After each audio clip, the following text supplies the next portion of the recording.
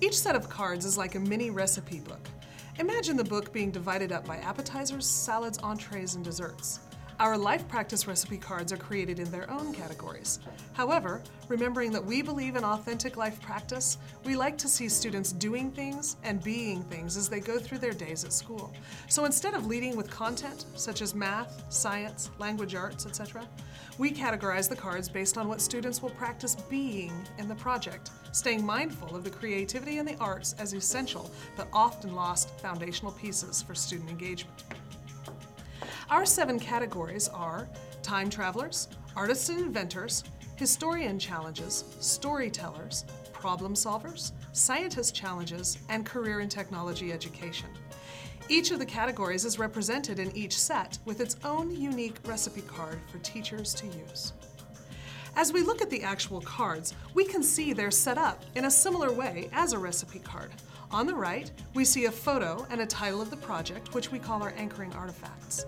You'll also notice a brief explanation of the work students will be doing.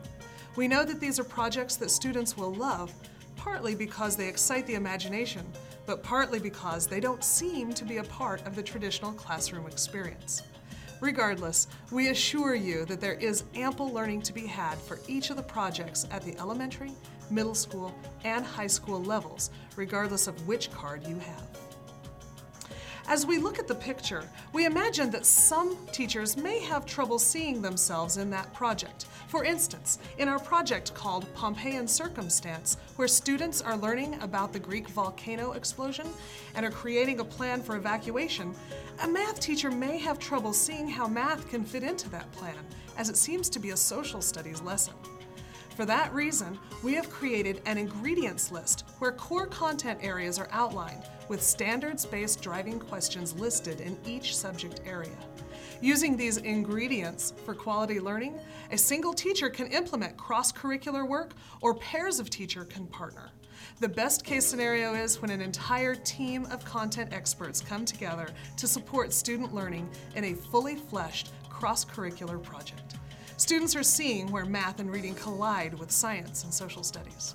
The novice chef or teacher new to project-based learning can take these ingredients and start cooking. But the more advanced chef or experienced PBL teacher can use these ingredients as inspiration to substitute, combine, and cook marvelously exciting lessons for her students. As we turn the cards to the back, we can see two sections of the card. On the left, we have created an outline unique to each card that provides helpful guidelines for a teacher considering implementing this project.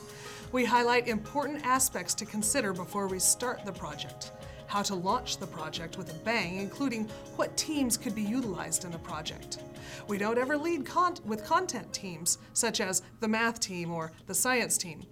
Instead, we lead with teams that are action-oriented, such as the BUILD team or the CSI team. You see, when students who might be reluctant or even downright refuse to take on a math challenge are asked to be on the BUILD team for the Apollo 13 project, they are excited to build. And in the process of building, they end up doing math all day long with the purpose. In this first column, we also highlight what ways teachers can support the inquiry-based model during the project, as well as how to wrap up the project once the work is complete.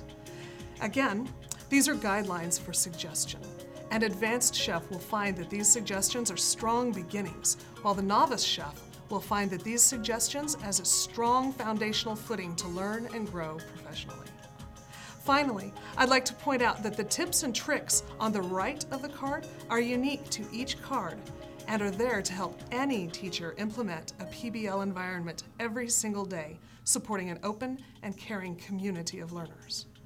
Don't forget that each card also has the URL of our lifepracticepbl.org website where you can go to ask questions and learn about customizing training just for you and your colleagues. We feel that these Life Practice PBL recipe cards are just the ticket to creating a nutritious and delicious learning environment for your students.